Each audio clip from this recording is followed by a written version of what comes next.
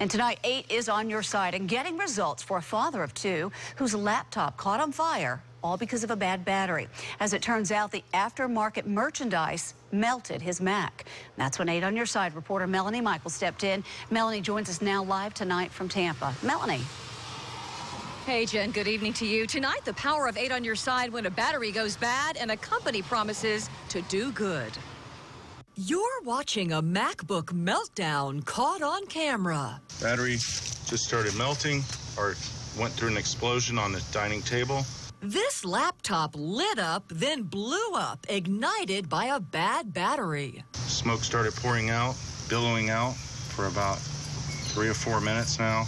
The computer got so hot that the plastic melted right onto the fingertips of this Tampa father of two as he tried to get the goods out of his house fast. It was really, really hot. I have no doubt that everything around it would have caught on fire if it had sat in the same place. Gil Sanderford shared his story with News Channel 8, hoping to warn others about the product he says he purchased at Batteries Plus. Experts tell us an aftermarket battery caused his laptop to explode. You never want to buy aftermarket batteries for them. Um, I mean, a lithium-ion battery can literally explode at any point in time.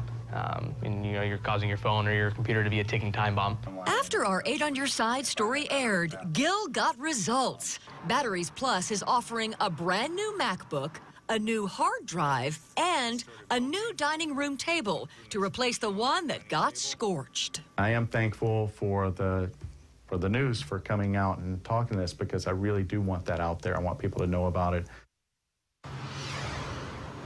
So good news tonight, Jen, for that family. And the reason Gil tells us that he spoke out is to possibly save somebody's life, someone who may not have known that this was even possible. Jen? Well, we understand that Batteries Plus didn't hesitate one second to make all of this right. They acted quickly in this case, and they promised to do the right thing, and we will hold them accountable. Jen? Melanie Michael, live in Tampa. Thanks, Mel.